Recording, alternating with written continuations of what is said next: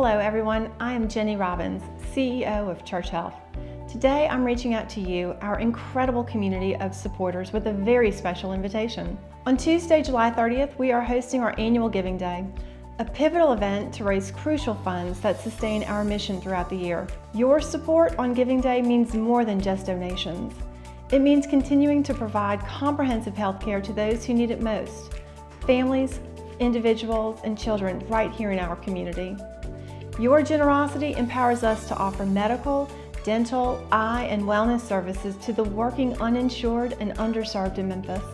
It fuels our educational programs and ensures that Church Health remains a beacon of hope and healing. This year, we aim to make an even greater impact, but we can't do it without you.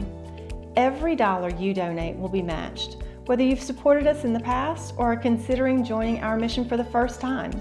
Your contribution on Giving Day will make a tangible difference. So please mark your calendars for July 30th and visit churchhealth.org to participate in this online giving event.